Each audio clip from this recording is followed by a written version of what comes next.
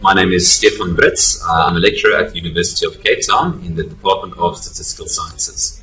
The course uh, is a first year statistics course rolled out to an incredibly large number of students. We're talking about the order of about 1,400 students, uh, which traditionally have been lacking engagement um, within the classroom. So we implemented a blended learning model where we flip the classroom about halfway, where we uh, still have face to face engagement where the students get the opportunity to put into practice what we give them online. So the main point of engagement is through Sakai, through our Vula VLE. Um, they engage with the learning material before they come to the class, where we get them in an environment where they can put into practice what they have learned. The most prevalent tool that the students engage with uh, is the lessons tool um, in which they receive all their video lectures. Um, they get referred to the reading material within it. And following each of those, uh, they get links to the quizzes that check their understanding of the concepts conveyed in those videos and in the reading material.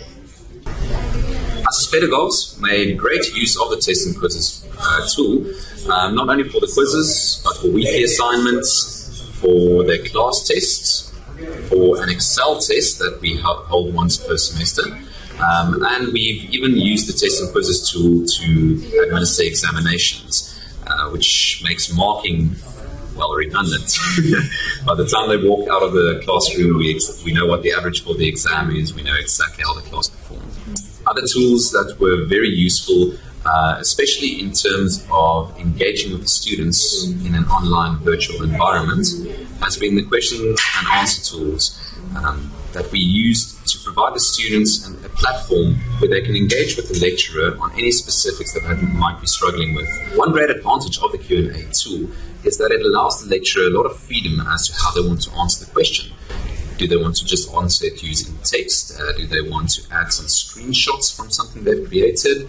Uh, we often record videos that we upload uh, to go through a detailed explanation answering the student's question, uh, or just upload some pictures. And from the students' point as well, uh, we often get screenshots or pics, little JPEGs of uh, just a quick question of something they didn't quite understand. And sometimes they can get immediate feedback, um, but it will always reach them within a day. The Q&A tool is not the only one we use for engagement. Uh, we also have a forums tool, which they can use to engage with their tutors uh, as well as the chat room where they can discuss certain things with each other.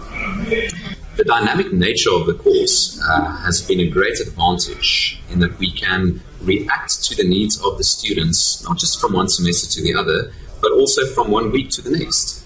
If we see there are certain niches that need to be filled, then we can adapt the site and we can adapt the course to fulfill the needs of those students. Sakai blended beautifully with the quantitative nature of our course.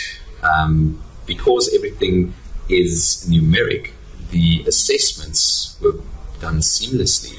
Uh, the marking and the assessment was actually made very easy by the existing Sakai tools.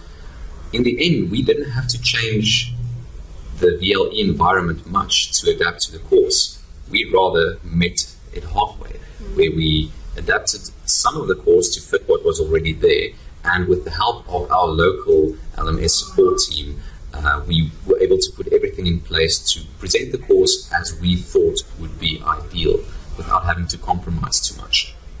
Uh, interestingly enough, the very first time we ran this course, there was mutiny amongst the students. Uh, it, there was complete outrage. Our poor head of department sat with, with parents in her office for the first couple of weeks. Uh, it's interesting to note that the students refused initially to accept this new model uh, of receiving lectures online, as opposed to the, old, out, I wouldn't say outdated, but the old-fashioned lecture system. We dragged them through that first course, kicking and screaming all the way, and the results were still very satisfactory. The second time around, all the negative feedback disappeared. It's, it's as if they were complacent. Knowing that it has been successful previously, even though I think the majority of them weren't exactly aware of how long we had been implementing this model.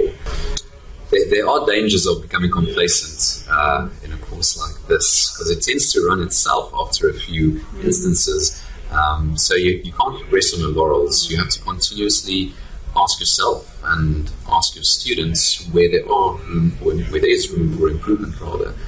Um, one element that we are exploring and desperately want to add to the course is that of gamification, uh, adding incentives uh, or incentivization to, to encourage the students to participate in different elements of the course.